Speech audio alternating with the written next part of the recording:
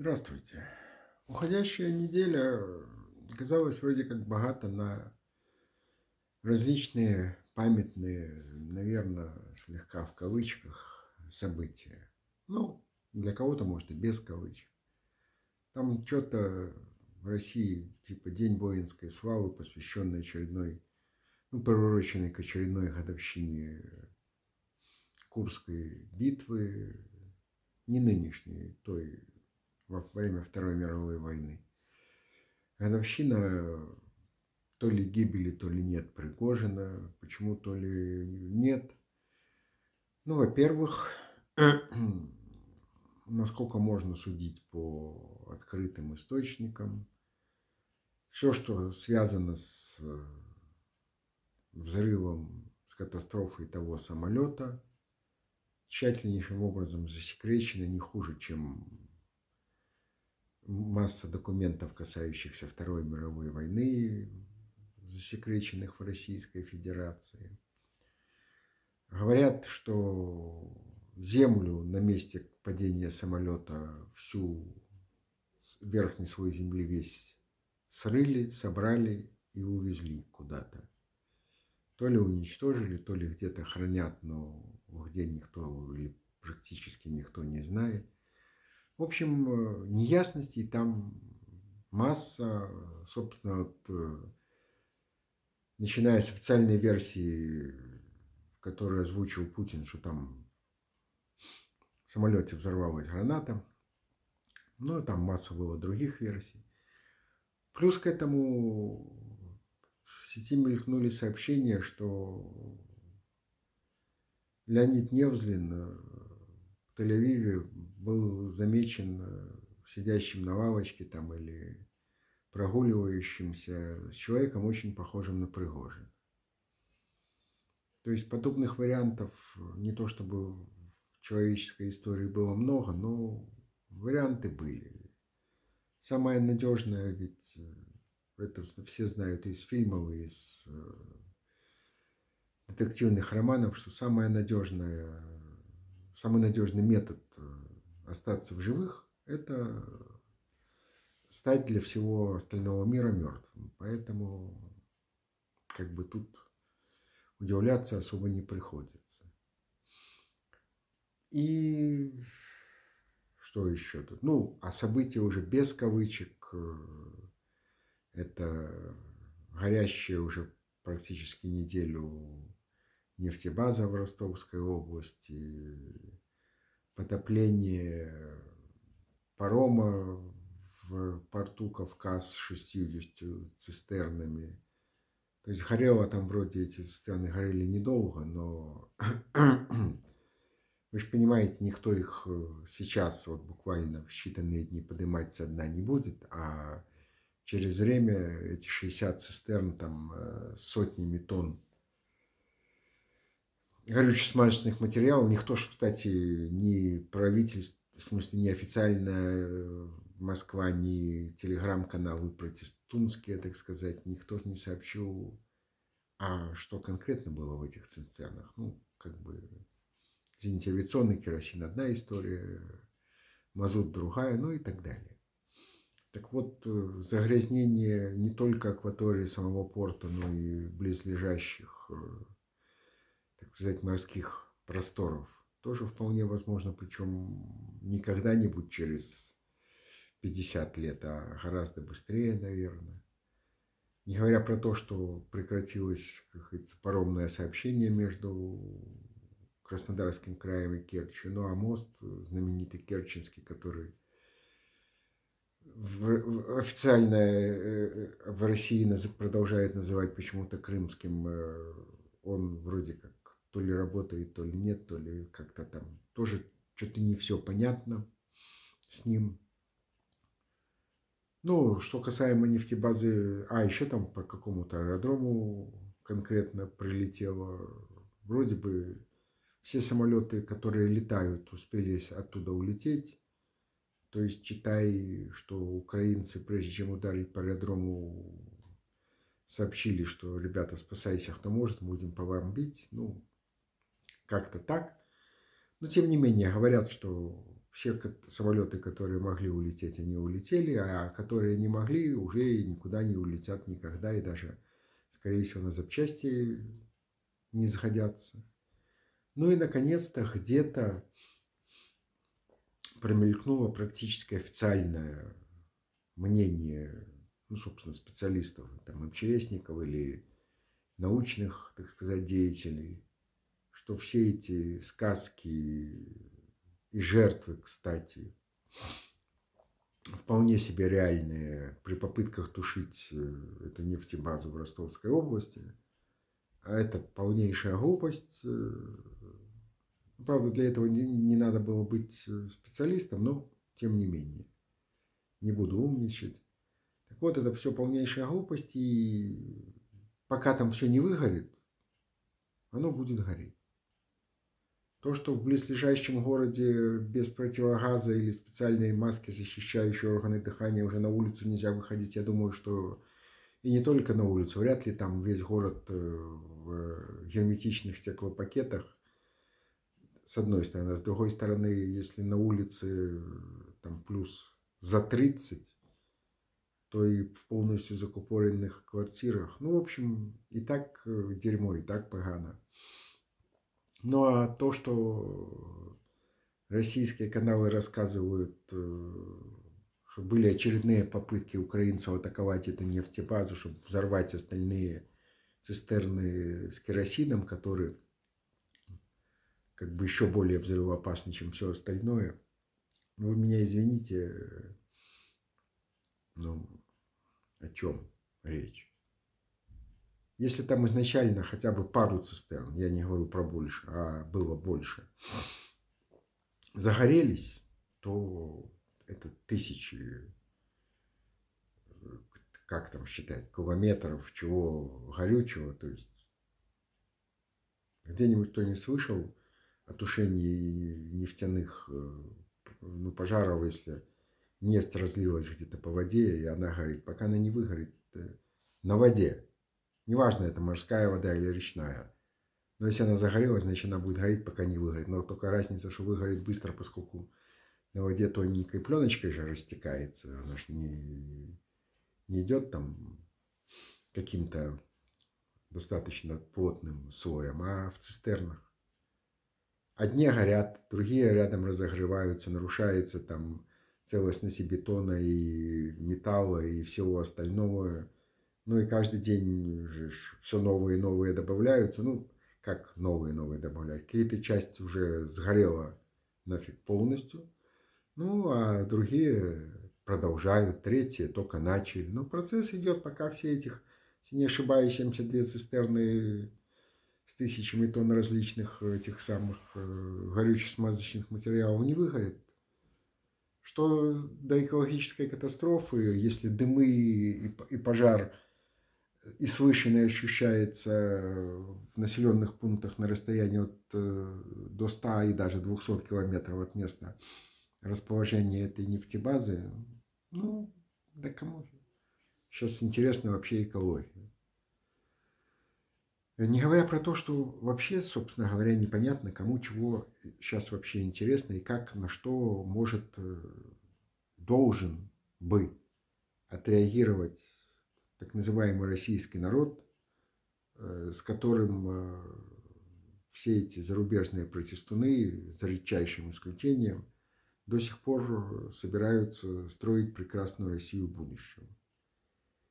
Если он фактически никак не отреагировал до сих пор, ну, на момент записи этого видео, да и, собственно, и на момент его выхода на YouTube и днями и неделями позже, если он никак не отреагировал на события в Курской области.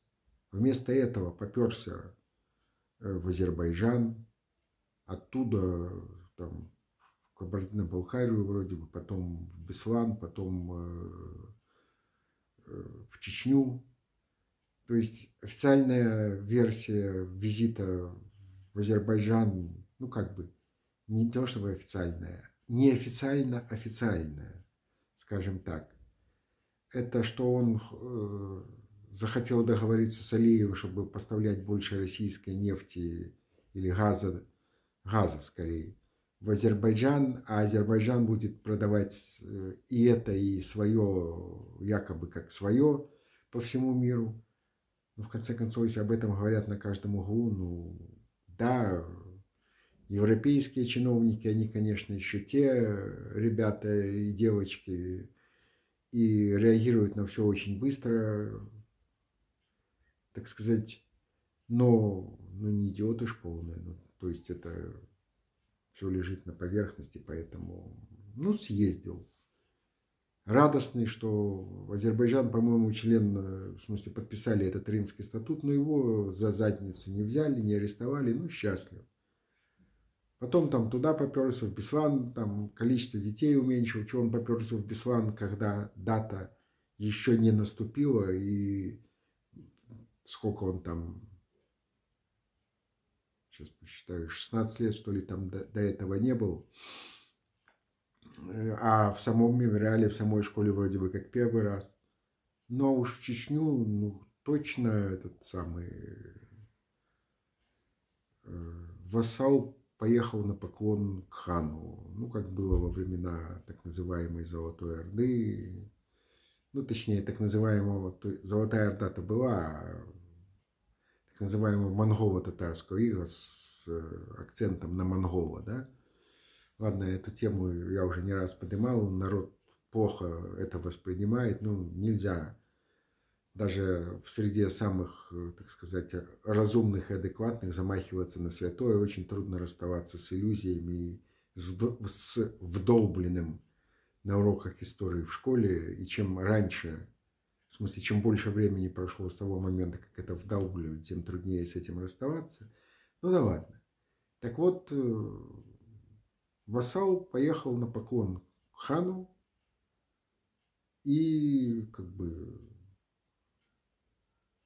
за, так сказать, подтвердить свою, что ли, верность. Э, ну, в общем,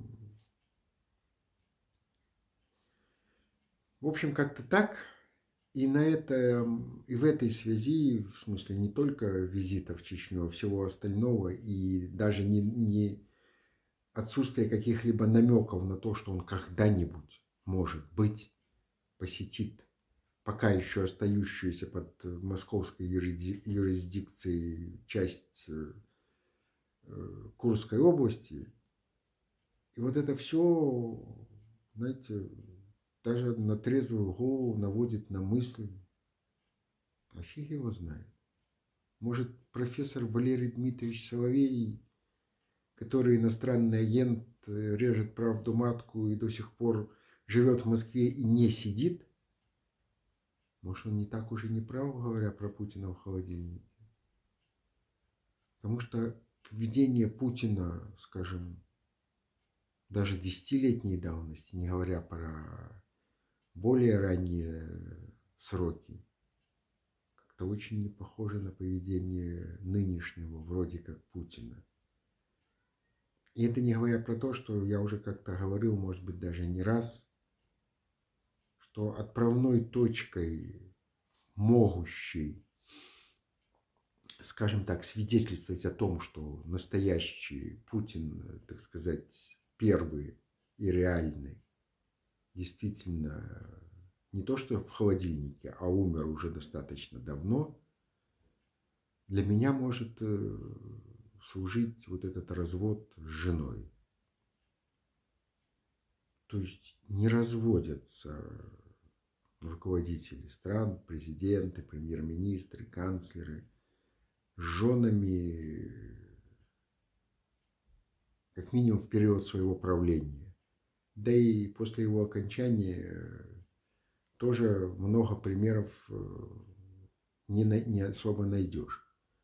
А уж в России, вот вариант э, Лукашенки, у которого жена есть, э, и он с ней уже 30 лет, э, так сказать, на расстоянии, да, это да, но он с ней официально не разводился. От другой ребенка родил, растит его, холит лелеет, э, и все вокруг называют его преемником и прочее, это имеет место быть. Но чтобы разводились, мало того разводились, она еще потом вроде бывшая жена при живом как бы муже-президенте, вышла замуж там за кого-то, уехала, миллионами, если не миллиардами ворочает. Ну, как-то это... То есть деньги и все остальное, это не вопрос. А вот чтобы разви... развелась и вот так вот на выходе из оперы, которую... Э, ну, Меркель любит она классическую музыку, и только в этом году по каким-то там не очень внятным причинам не поехала на этот Вагнеровский фестиваль, или как он там называется. А так каждый год ездила. Путин и его жена э, никогда не были замечены в любви не то что классической, да к любой музыке. Где-то показушный вариант на каком-то концерте, конкурсе или что показаться, это одна история. А вот так, чтобы в глубине души нет. И тут они пошли в оперу, и после оперы, по-моему, же опера была, а не балет. Какому там тогда, на тот момент, э, заштатному каналу сообщили так, а мы вот э, решили развести. Так вот, вот этот э, эпизод, скажем, лично для меня действительно может свидетельствовать в пользу, опять же повторюсь, не того, что Путин почти год в холодильнике на Валдае, по словам Соловья, а пользу того, что давно уже это Путин номер два, номер три, там, ну, то есть дубликаты. Ну и на этом фоне, опять же, если поверить в эту историю, может, и Соловей не так уж не прав, что какой-то из последующих основных, скажем, дубликатов Путина действительно лежит в холодильнике, а там идет э, схватка бульдогов не под ковром, а буквально на ковре, и э, пена, э, слюни, сопли и куски ковра летят во все стороны, но просто нам пока этого не видно. Кто его знает. Но вообще поведение Путина ну, будем его пока считать Путиным. Может быть, с маленькой буквы, но Путин. Ну, хотя бы похож на Путина, говорит как Путин, действует далеко не всегда как Путин. Хотя, собственно, и говорит как Путин тоже это вопрос такой, скажем, не совсем однозначный. Но поведение вот, вот это все, вот эти все поездки, заявления. Да вы мне лучше расскажите, как на мотоцикле ездили в отпуске по Крыму, чем ну, что, Курская область. Ну, серии, да, там... раньше я знал, что там в основном живут украинцы, особенно чем ближе к границе, тем украинисте. Ну, а сейчас, ну, ну, по это самое, потом расфигачим все этими кабами там или еще чем-нибудь. Ну, какая разница? Россия же нигде не заканчивается. В общем, э, конец августа такой вот э, не, необычно или неожиданно, точнее, интересный. Ну, еще ж через неделю, если мне память не изменяет, будет э, сколько-то лет э, Коленьке, э, упомянутому выше Лукашенко. А самому картофельному фюреру, опять же, если не, память не изменяет, по-моему, будет 70. 30 лет правления уже минуло, ну, теперь 70 лет, ну, что. Там он в Америке в президенты до недавнего времени 80-летний с гаком собирался. И тоже ничего. Так что вот только Беларусь в этом плане очень-очень жалко.